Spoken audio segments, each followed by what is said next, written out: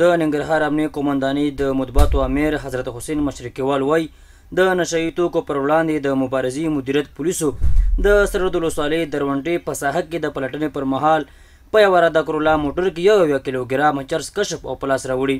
مشرقیوال زیاته کړه د ترلاسه شوو چرسو لیږدوونکي غوښتل چې یاد نشه یي توکي له کابل څخه ننګرهار ولایت ته ولېږدوي چې په تور یې د اجمل په نوم یو تن نیولی او په یاد مدیریت کې تر پوښتنو لاندې دی. دغه راز د شهراکتي پولیسو د روداتو ولسوالۍ غازي امان الله خان ښارګوټي کې په یوه رادا اشترنګي ریکشا کې درې څلوېښت کیلوګرامه چرس هم کشف او ترلاسه کړي.